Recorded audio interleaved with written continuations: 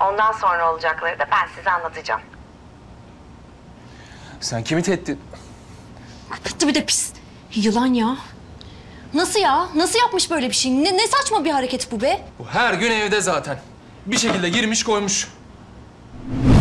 Ceyda? Aa selam. Ne taraf öyle? Lavaboya gidiyordum. Canım lavabo burada. Orası Ayşe ile Kerim'in yatak odasına çıkıyor.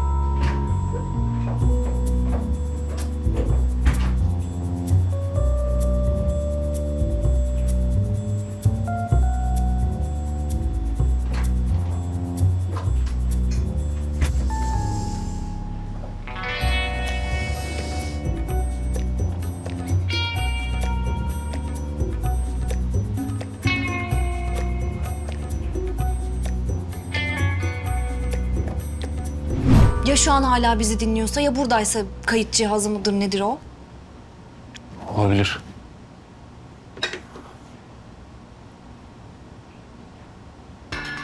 Ne yapıyorsun be? Alıcıların ayarlarıyla oynuyorum. Gel sağa sola bakınalım. Yarın komple aratırım ben burayı.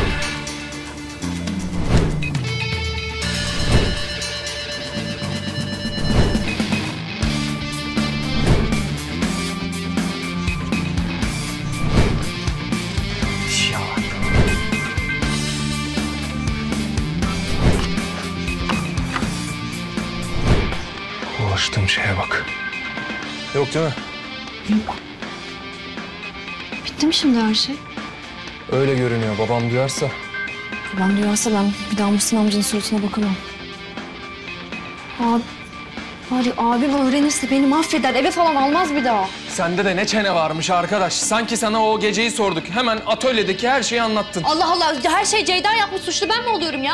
Ayrıca iki saat bizi biri dinlese evli olmadığımızı anlar. Sürekli kavga ediyoruz. Sanki benim yüzümden kavga ediyoruz. Hep senin suçun. Allah Allah niye benim suçummuş? Banyoda yıkandıktan sonra giyinmeyip buraya beline havlu bağlayıp gelen sensin kasıla kasıla içeri. İçeride kadın mı var? Kız rahatsız olur mu? Tamam. Banyoda giyineyim eyvallah da. Senin üstünü başını ben topluyorum. Ne alakası var ya? Ben bir kere tertipli düzenli insanım. Hiçbir şeyimi etrafımda bırakmam. Özellikle dikkat ediyorum. Puantiyeli dantelli diyeyim sen anla. Saçma sapan konuşma ya. Allah Allah sen ne yapıyorsun ya? Giyinirken beni mi izliyorsun? Seni niye izleyeyim? Duşunu orada bırakmışsın. Arkanı ben topluyorum senin. Ben hiçbir şey bırakmam diyorum ya. Aklın fikrin hep oralarda saçma sapan şeyler bulma peşindesin. Sen bırakmadıysan kim bıraktı? Kim giyiniyor orada? Bütün foyamız ortaya çıkmış. Bir de puantiyeli şeyler ekliyoruz ses kaydına. Allah Allah bahseden sensin. Aklın fikrin hep oralarda. Tamam seninle tartışılmaz. Şimdi ne yapalım biliyor musun? Bir, iki, üç, tıp. Vay. Bir, iki, üç diye başka şeyler için de sayabiliyor musun ha? Bence bu çoktan almıştır bu ses kayıt cihazını. Biz yokken koymuştur, biz yokken almıştır. Artık geçmiş olsun. Yelda teyzeciğim, ben bir lavaboya gidebilir miyim? Ya tabii. Çok su içiyorum herhalde.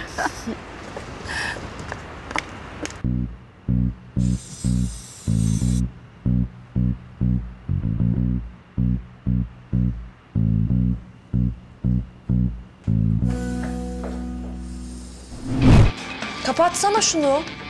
Başım şişti ya. Arabadaki garip garip müzikleri açtın yine. Ay ne yapıyorsun ya? Tuhafsın tuhaf.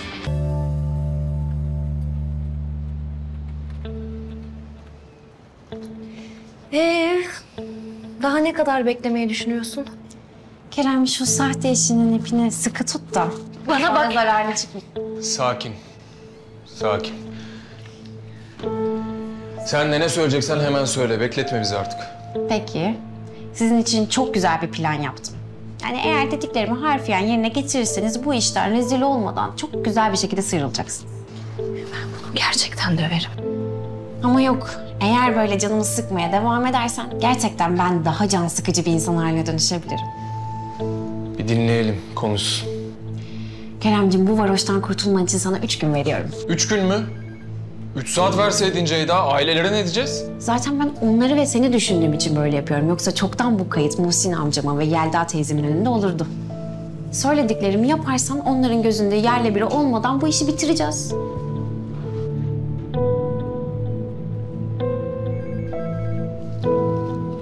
Ee, ne bekliyorsun ya? Bir de teşekkür mü edelim?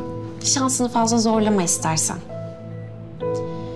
Eğer söylediklerimi yaparsanız üç günde bu iş çok rahat bir şekilde biter. Yani her gün duyuyoruz bir günde boşananlar var değil mi?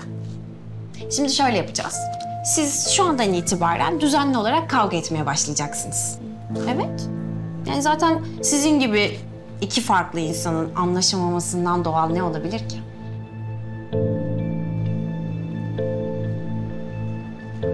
Tek istediğim bu mu?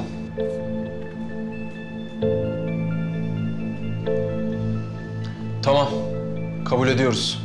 Kerem, ne demek kabul ediyoruz ya? O ne istiyorsa biz onu mu yapacağız şimdi? Ayşe, siz bilirsiniz. Yani eğer rezil olmak istiyorsanız, aileleriniz üzülsün istiyorsanız sizin bileceğiniz iş. Ya bir telefonuma bakar.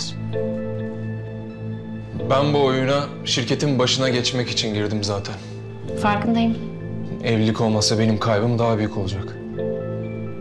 Yani bu kadar çok istiyorsan benimle evlenirsin Kerem.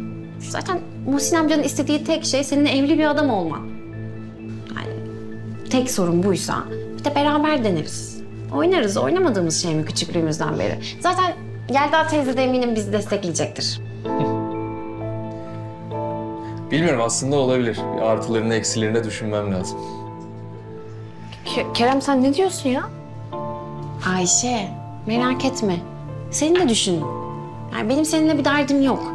Yani okula mı gitmek istiyorsun? İş mi kurmak istiyorsun? Merak etme ben sana da bir çek yazarım. Bana bak. O çeki alırım. Ya Kerem, Kerem kalkalım gidelim. Ne diyor bu ya? Bunun dediklerini mi yapacağız? Ne yapıyorsa yapsın. Kerem hadi gelir misin? Çıkalım şuradan. Hayır. Kabul ediyoruz. Sen de edeceksin. Başka çaren yok. Ben böyle bir şeyle gazetelere düşemem bir daha. Bırak patronluğun şirket elimden gider. Bu, kadar kolay mı? Kusura bakma kendimi düşünmek zorundayım. Ne istiyorsan onu yap ya. Yalnız bu yaban gülünün dediklerimi yapması konusunda ikna etmek senin görevin. Çünkü daha sonra başımız ağrıyabilir. Sen Ayşe'yi merak etme ben onu ikna ederim. Tamam bu kadar mı? Çok basit.